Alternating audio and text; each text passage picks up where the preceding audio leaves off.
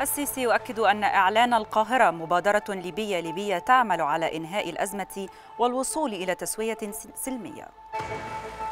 ترحيب عربي ودولي بإعلان القاهرة بشأن ليبيا وتأكيد على أن المسار السياسي هو الخيار الوحيد لحل الأزمة.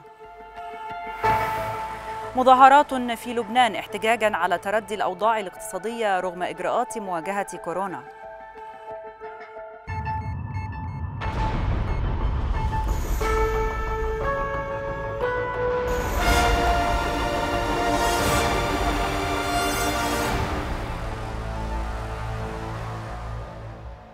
الثامنة مساء السادسة بتوقيت جرينتش موجز إخباري جديد يأتيكم من القاهرة. أهلا بكم. وفي البداية نرجو من جميع المصريين أخذ الإجراءات الاحترازية ضد فيروس كورونا. احمي أهلك احمي بلدك. أكد الرئيس عبد الفتاح السيسي أن إعلان القاهرة مبادرة ليبية ليبية تعمل على إنهاء الأزمة والوصول إلى تسوية سلمية تتضمن وحدة وسلامة المؤسسات الوطنية وعودة ليبيا بقوة إلى المجتمع الدولي. وعبر السيسي عن اعتزازه بأن هذه المبادرة برعاية الدولة المصرية التي هدفت كل تحركاتها طوال الأعوام الماضية إلى إنهاء معاناة الشعب الليبي واستعادة استقراره في كل مجالات الحياة.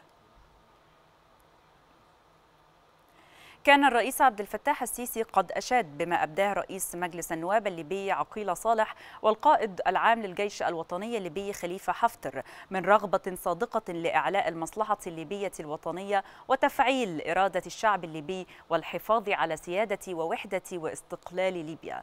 وأكد الرئيس أن تحركات مصر تهدف إلى التنسيق مع الأشقاء الليبيين لإرساء دعائم الأمن والاستقرار في كافة أنحاء ليبيا. من خلال السعي نحو تسوية سلمية عالمية للأزمة تتضمن وحدة المؤسسات الوطنية والتوزيع العائد العادل لعائد الثروات الليبية ومنع التدخلات الخارجية. هذا وقد رحبت البحرين والأردن والسفارة الروسية بالقاهرة والسفارة الأمريكية في ليبيا بإعلان القاهرة بشأن ليبيا. ومن جانبها ثمنت وزارة الخارجية الإماراتية المساعي المخلصة التي تقودها الدبلوماسية المصرية في هذا الصدد بحس عربي مسؤول وجهود مثابرة ومقدرة. كما رحبت المملكة العربية السعودية بالجهود المصرية الهادفة إلى حل الأزمة الليبية وأكدت تأييدها لدعوة الرئيس عبد الفتاح السيسي بوقف إطلاق النار في ليبيا اعتبارا من يوم الاثنين المقبل. وأكدت المملكة ترحيبها بكافة الجهود الدولية التي تدعو إلى وقف القتال في ليبيا والعودة للمسار السياسي على قاعدة المبادرات والقرارات الدولية ذات الصلة. وبما في ذلك ما تم التوافق عليه في مؤتمري برلين وجنيف. تجددت المظاهرات الاحتجاجية على تردي الأوضاع الاقتصادية والمعيشية وسط العاصمة اللبنانية بيروت حيث وقت المناوشات مع قوات الأمن. ورفع المتظاهرون الذين وفدوا من مختلف المناطق شعارات تطالب بتحسين الوضع المعيشي وسط انتشار كثيف للجيش والقوى الأمنية. صوت مجلس النواب العراقي على تخويل رئيس مجلس الوزراء مصطفى القاضمي استحداث وزارة دولة يكون وزيرها للمكون التركماني.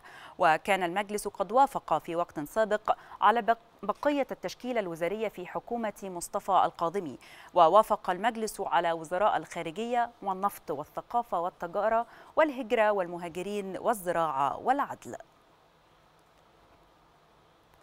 أظهرت بيانات حكومية ارتفاع حصيلة حالات الوفاة بكورونا في بريطانيا بواقع 204 حالات إلى 40465 حالة.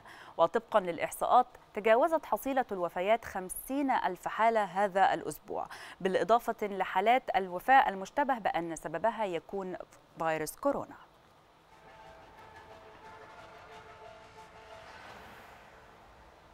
انتهى الموجز الإخباري ولمزيد من الأخبار تابعوا دوما موقعنا الإخباري extra news.tv شكرا لكم.